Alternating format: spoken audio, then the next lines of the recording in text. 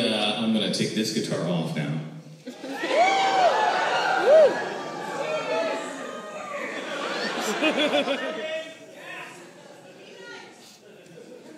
to be, I just, I'm just curious what this sounds like. Uh, not, not the guitar. I've heard the guitar before. but just, uh, just pretend, just pretend we're doing a, we're doing a whole, a whole uh, Dylan goes electric thing. Just, just booming like you're really disappointed. I want to hear that. I want to hear that sound.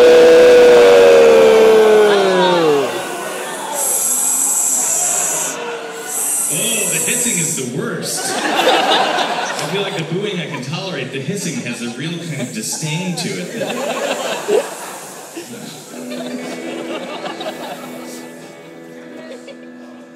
Uh, uh, that was a fun experiment. I know, right? You don't need to do very much for it to sound awesome.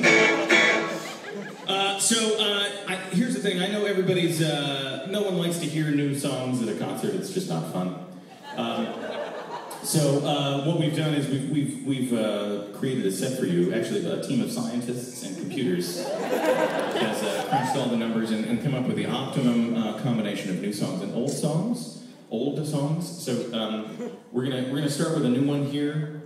Be an old one. We'll do it. You know, we'll kind of back and forth. So you can you know you'll be you'll be excited about hearing an old favorite. You'll be extremely disappointed in a new one. and over the course of the evening, it will sort of average out. Uh, I've, I've talked a lot about this on, on the Twitters and the and the internets, um, um, and I keep saying that there's there's one song about mustaches, mustache fans here tonight, which means you're gonna like this song. This is called "Moustache."